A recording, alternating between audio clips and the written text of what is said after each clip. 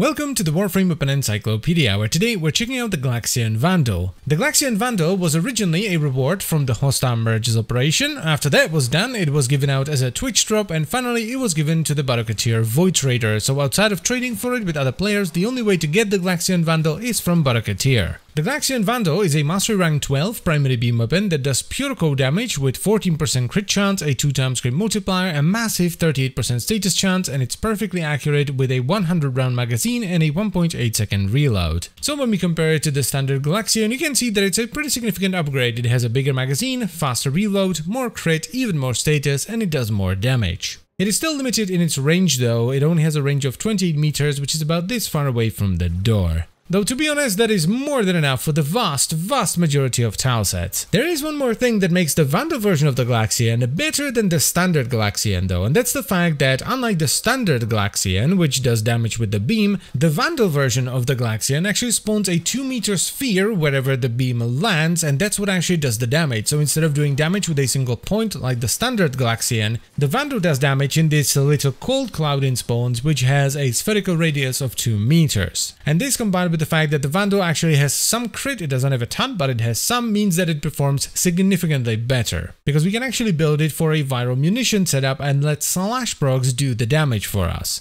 And the setup is actually pretty straightforward. We have Critical Delay and Argon Scope for crit chance, Vital Sense for crit damage, Hunter Munitions for the slash procs, Malignant Force and Rime rounds for viral, and then Serration and Split Chamber for damage and multi-shot. Now if you don't mind reloading a little bit more often, what you can do is take out Argon Scope and actually replace it with Vigilante Fervor. This will give you a lot more fire rate and it will also give you a 5% chance to crit with an orange crit rather than a yellow one. Though the overcrit of course only applies if you're not running Vigilante mods on your companion. Now while the damage definitely isn't insane, it is significantly better than on the standard Glaxion, and it scales pretty well too because it's just slash damage which is effectively true damage. It also feels a lot better because of that 2 meter AoE, so you don't necessarily need to run something like a gas setup or run combustion beam to make it feel good while doing stuff on the star chart. I would still recommend you give the gas setup a try though, because it's even better than on the standard Glaxion, because now you have the AoE of the weapon overlapping with the AoE of the clouds and the AoE of the combustion beam, just blowing stuff up all over the place. The Vandal version of the Glaxion can do some decent damage, and it definitely feels better than the standard Glaxion. So I would recommend you pick it up if you see it on Baro, especially if you have a Glaxion Riven, because the Vandal version of the Glaxion does have quite high Riven disposition. Don't expect too much from it though, it is fine when you're doing stuff around the star chart, doing nightmare missions, fissure missions, even early sorties, but I wouldn't take it into Steel Path. And that is pretty much it for the video, so I thank you very much for watching as always guys, I hope you've enjoyed it and found it helpful,